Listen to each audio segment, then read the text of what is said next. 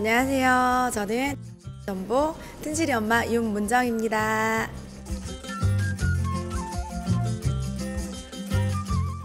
제가 음식을 먹는 것도 엄청 좋아하고 하는 것도 엄청 좋아하니까 사람들이 너는 음식 먹을 때 가장 행복해 보인다고 해서 지인들이 자꾸 음식점 한번 해보라고 해보라고 권유해서 일단 시작은 하게 됐거든요.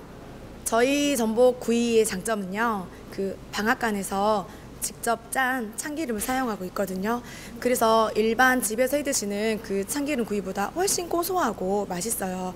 저희 전복 삼겹살은 정말 깨끗하게 닦고 큰 전복으로 전복 삼겹살을 그 해드리고 있어요. 아, 전복하고 삼겹살을 같이 구워 먹으면 일단 전복이 해산물이랑 살짝 비리고 짜거든요. 근데 그 삼겹살에 나온 기름하고 같이 볶아 드시면 짜지도 않고 엄청 고소한 전복 요리를 드실 수 있거든요. 그래서 꼭 한번 드셔보시기를 추천드려요.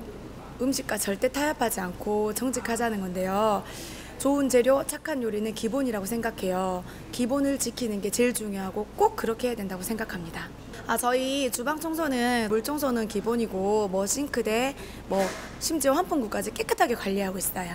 식자재는요 소분하여가지고 하루하루 쓸 만큼을 해서 날짜를 꼭 적어가지고 냉동 냉장 보관하고 있어요.